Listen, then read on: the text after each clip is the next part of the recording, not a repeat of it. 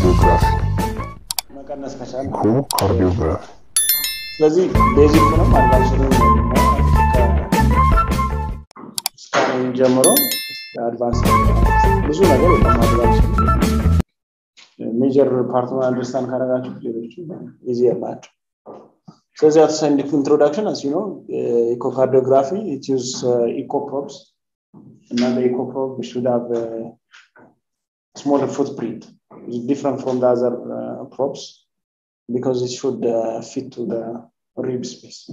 Okay, one difference is uh, echo probe, and then the other is electronic beam steering features facilitate scanning. So uh, different ana- anatomic uh, areas from different side of the heart. So we need to look from the different side of the heart to look and to identify whether structural uh, abnormalities using uh, phased array probe. So we call it echo probe or phased array probe. So it's different from the abdominal probe or the linear probe.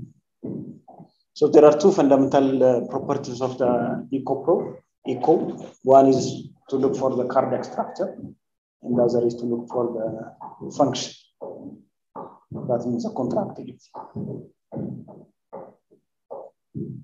So the basics of uh, echo will have uh, anatomical, 2D mode or B mode echocardiography. And more of the advanced is realizing is a Doppler, uh, performing Doppler more of advanced. So the B mode it relies primarily on the relative strengths or amplitudes, that means the wavelengths of the reflected ultrasound echo, which determines the echo reflexibility or the degree of brightness and then uh, it, just tell us the anatomic structure, the B mode. It's 2D, it just tell you like uh, from two dimensions. And then you see the size, the difference from the right, left. And you see the measurements of the different structures on the, on the earth. So there, there is Doppler, which analyzes uh, changing uh, shift or uh, from frequency difference. So you use uh, different velocity of blood flow. So, you know, there are different flows in the atrium, in the ventricles, the valves, there are different velocities. So based on that velocity, you'll uh, decide. So that's Doppler echo. So normally, clinically, we divide into conventional echo and Doppler echo. So the conventional echo, it, it, it consists of the 2D and also the M mode. You know, the M mode from the basics. So it tells us uh, a motion at a time t. Okay, so the movement of the structure at a time t. So that's motion mode. So you use a motion mode and also 2D mode in a conventional echo, whereas uh, you will have different Dopplers, continuous wave Doppler, pulsed wave Doppler, and uh, color flow. So these are the three things that you will assess on the Doppler echocardiography. So what are the th- differences in, uh, in conventional, that means the B mode or the, the, the Doppler? That B mode is mainly used for assessing the cardiac structure, whereas uh, the Doppler tells about the cardiac function. function. It tells us the anatomy, and you see the B mode or the conventional, whereas the physiology, hemodynamics is assessed using the Doppler.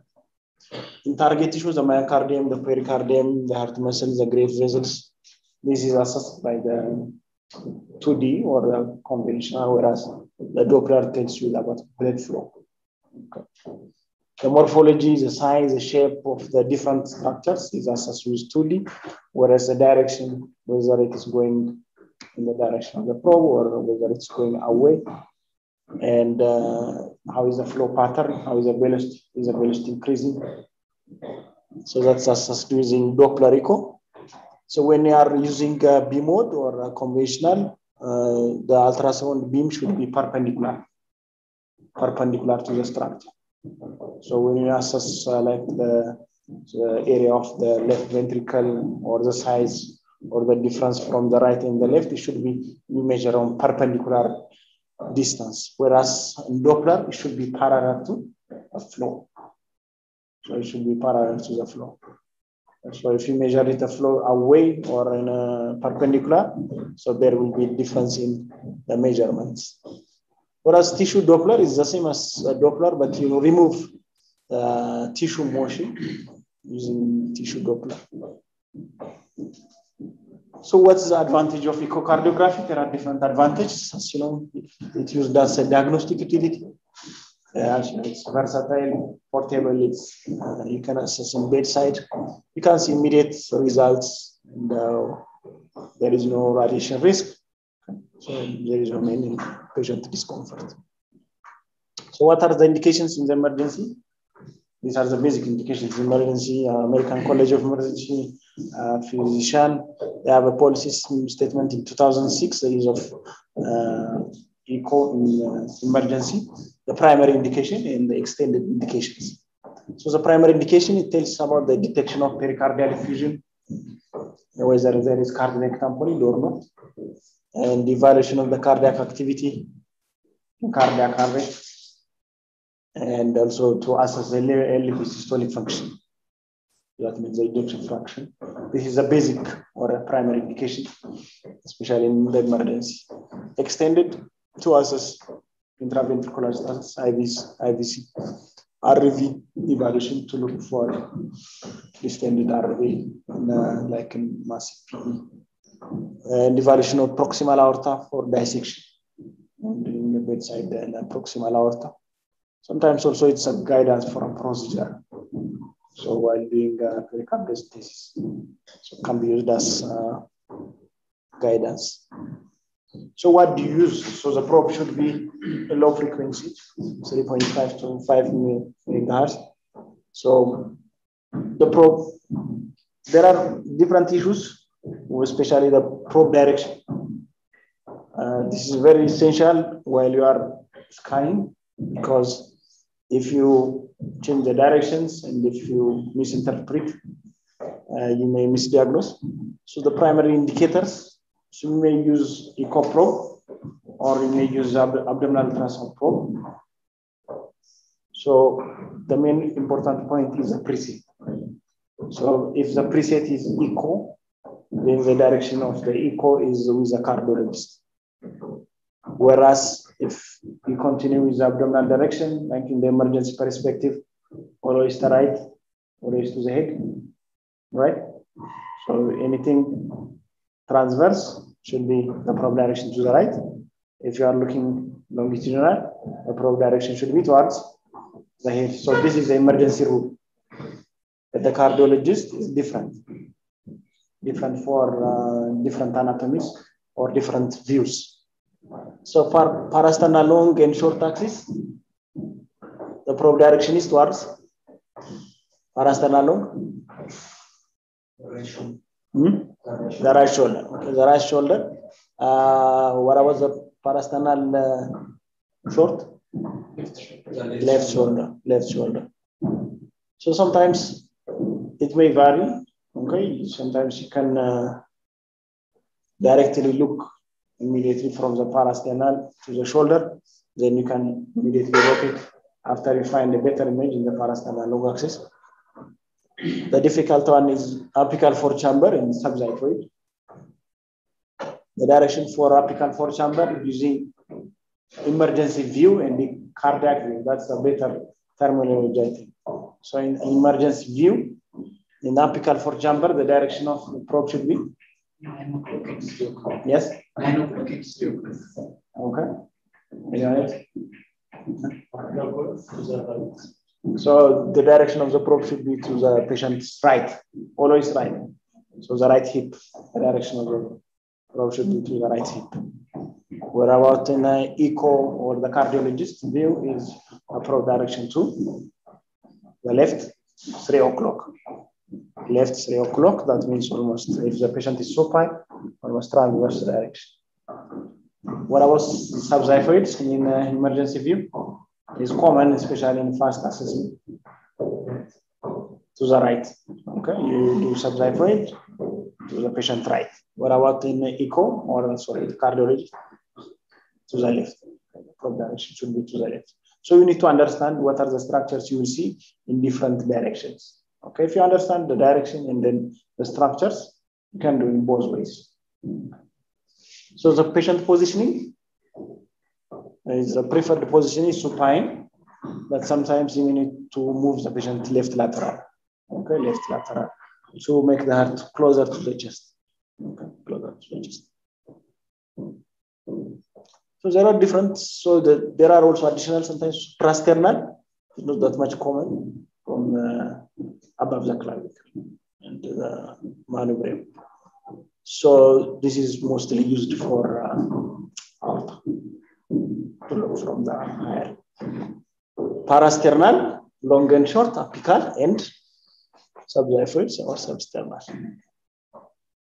So this is classification is based on the anatomic and the, uh, blood supply.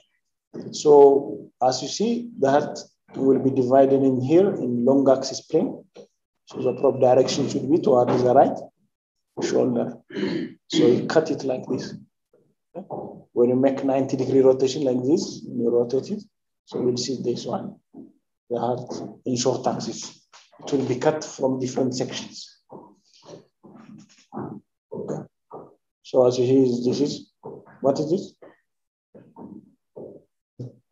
Yes? Huh? No, no, no, this one, the vessel. Left main, left main. This is right coronary. And down here, left and here descending. And then that rotates the left circumflex. And here is, what is this? Posterior descending. Coronary. So let's start from the parasternal long axis view. So the parasternal long axis view, uh, so the probe should be placed on the fourth or fifth intercostal space. Probe should be placed over there, and then you angle the probe towards the patient uh, shoulder, right shoulder. So what are the structures you will see in the parasternal long axis? Right ventricle, left ventricle, aorta, left atrium, mitral valve,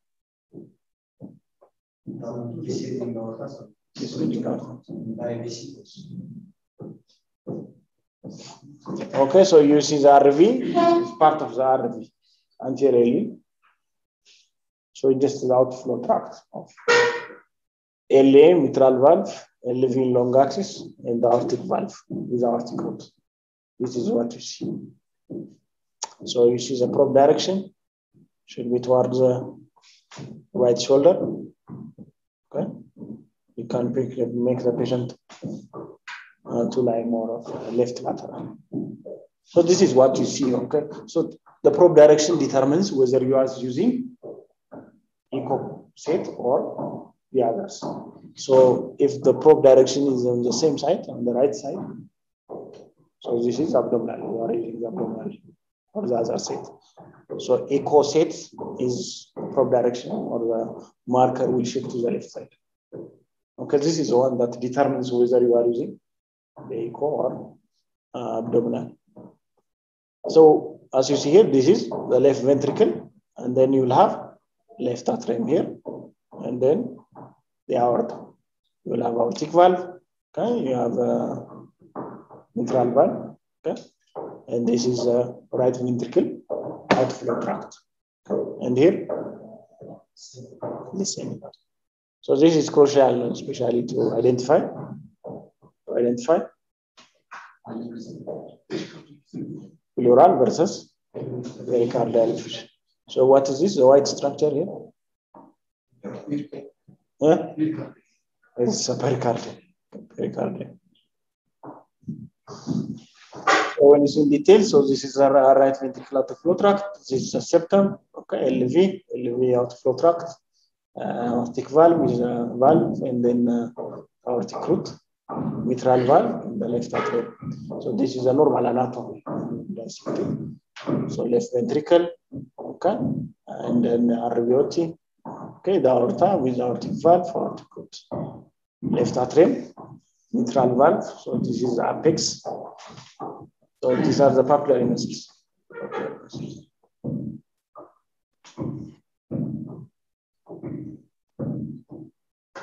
So more of in detail, this is uh, when you go in. So the mitral valve will have two leaflets, okay? Anterior and posterior. The anterior leaflet and the posterior leaflet. These are important.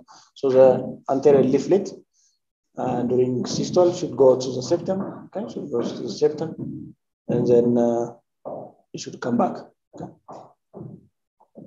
And uh, you know the descending aorta, uh, ascending aorta. So the ascending aorta, aorta has how many cusps? Very right, but you see only two here. To the right coronary and, and then coronary cusp. So the left coronary cusp is not uh, visible. So you will see this on mitral, sorry, in the short axis. During the short axis, you will see the views. So this is a posterior papillary muscles, the septum, the right ventricle, left ventricle. So this is a very wide is a pericardium. So there are things you can do. Okay. So like doing mode in different areas. So one of the things you can do is uh, you can start from uh, uh, the aortic valve, okay, the aortic valve. So while you are doing the aortic valve, you can do at the level of the aortic valve. So you will see uh, systole and diastole. Okay, so it's almost rectangular when it's open. It becomes like rectangular. When it's closed, and then it becomes rectangular. Uh, so the right coronary and the non-coronary cusp, systole and diastole. So you see like it, it makes a rectangle when it's open. Is it visible? So the guy is closed here. When it's open, it becomes rectangle. This is aortic valve from here to here. Okay? But this aorta is aorta. So you can measure the distance from uh, below the valve at the valve level and above the valve area. Okay? Different measurements. So the other, you can do M modes at the mitral valve level. And the mitral valve level, you can work M mode. So as you see here, there are up and downs here. So the first thing that you have to see is the upper one, that this black area is the right ventricle, and then followed by the septum. Okay, this is the septum. And this open area is the left ventricle. And this up and down deflection is a mitral valve movement. Okay, the mitral valve movement. And this area is posterior wall of the left ventricle. And the white one is pericardium. Okay, that's a pericardium.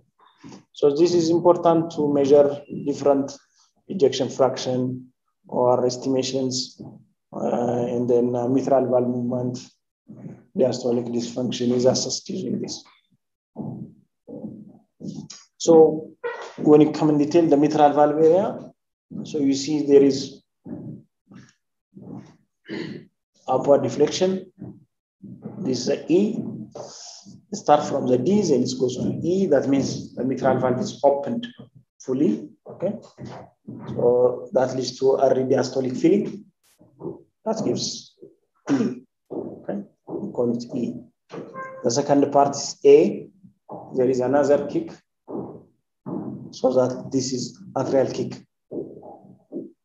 There are two movements in the mitral valve. Two times that the mitral valve will open. One is during diastole, and then the second one is atrial kick. Okay, the atrial kick. So after the early diastolic filling, then there is partial diastasis or partial closure of the mitral valve, followed by the atrial kick, and then finally the mitral leaflet will close. Okay, will close. Okay. So this is the anterior mitral leaflet. And this one is a posterior mitral valve. Is this clear? So you should know E and A. The others are not, that much. if you know E and is so the early diastole and then atrial kick. Sometimes there are conditions that leads to the loss of atrial kick, like in a patient with atrial fibrillation, there will be loss of atrial kick. And E is used for uh, EPSS.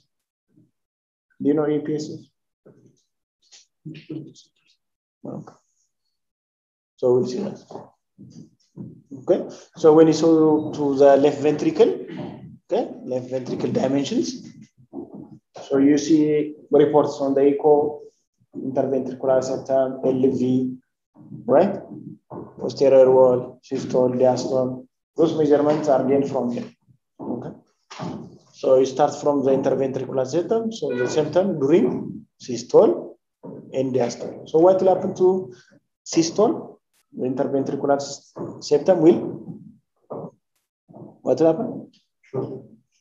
During systole, it will shorter. Okay. But in diastole, sorry, no, during systole, it will contract because it's a muscle. When it contracts, it increases. Okay Then the left ventricle diameter. So this direction, ይሄኛው እና ይሄኛው ተቀይሯል። ይሄኛው ሲስቶል ነው።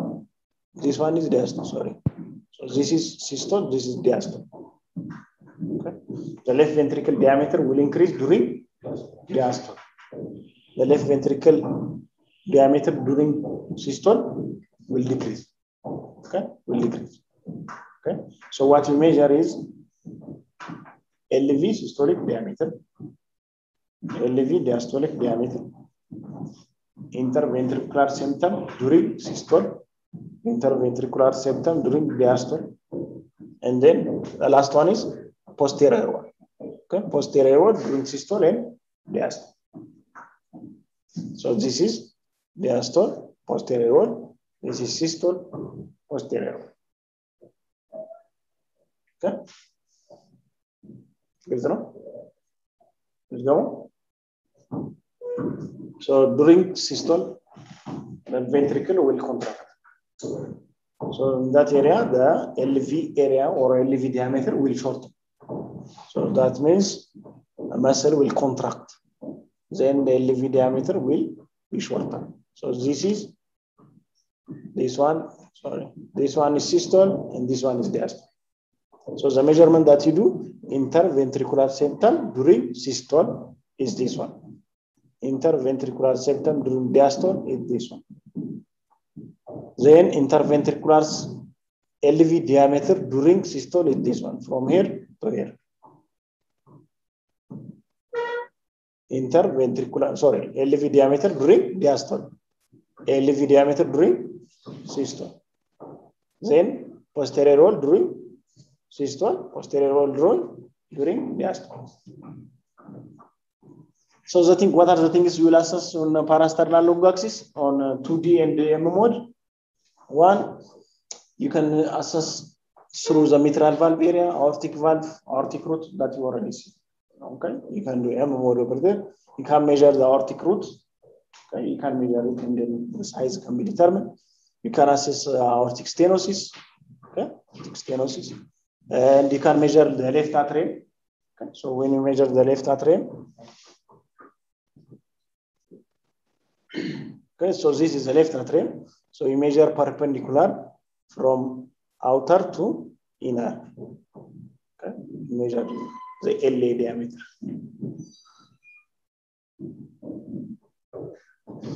And you can measure uh, interventricular septum during systole and diastole.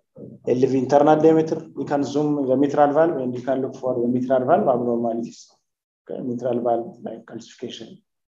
because you can, you can see easily ለምሳሌ ሚትራል ሪገርስቴሽንስ ምናምን ለማየት ደግሞ ምን እንፈልጋለን ዩኒት አዲሽናል ዶፕለር now you just see the structure the other is you can also look for a mitral valve prolapse okay? Commonly the posterior mitral valve will prolapse.